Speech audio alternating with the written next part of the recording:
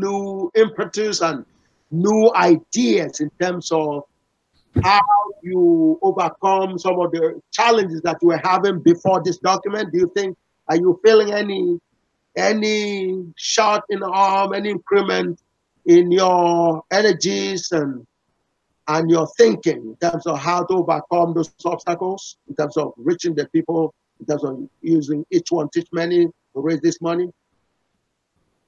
Yeah, because I mean, the document has to be be a part of the verification of what you're saying because you know asking someone to give give give money they yeah. want to know if everything is legal if yes. everything is correct if everything is legitimate yes. everything is authentic yes. and if you can show them that it is authentic authentic authentic authentic or real you know i can say the word but if you could show them that it's genuine yes. then um, they will know that their money is not put into something like a Ponzi scheme or some type of thing like that that they may have in their mind, yes. you know, um, from being hurt, you know, for a lot of times, you know, from in the past, um, yes. believing things and then things not coming true.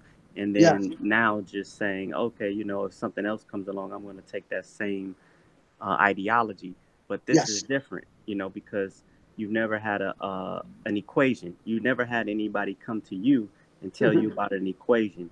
You've never mm-hmm. had anybody come to you yes. and tell you about solutions. Yes. You've never. This is a totally different thing. It may use yes. some of the some of the. It may it may ask for money like other people have asked for money, but yes. other people have not presented you with yes. what this is presenting you with. So it's similar, but it's extremely dissimilar to anything yeah. you've been asked to contribute to exactly. before. So they have to get that part, and it, and that's what I've seen.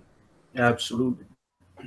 Praise God. Praise God. And you heard what uh, Brother Cruz had said earlier.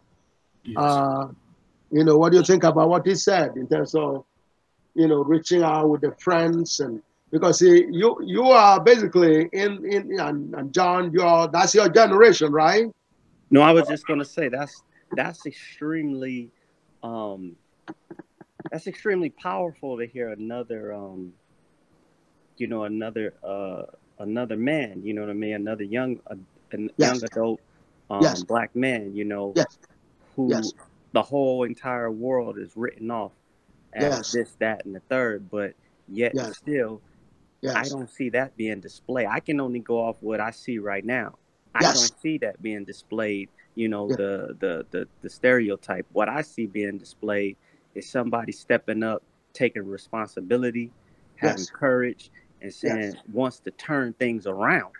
Yes. And wants to um and who who knows how hard things are, but is willing to to take a challenge and step up in a yes. responsible, courageous way yes. in the face of adversity. I see somebody Absolutely. stepping in, you know, stepping up to adversity, willing to break through a wall because yes. that's what it is. It's, you got to break some chains, Absolutely. mental chains, psychological chains. Yes. Um, and take the brunt bruises yes.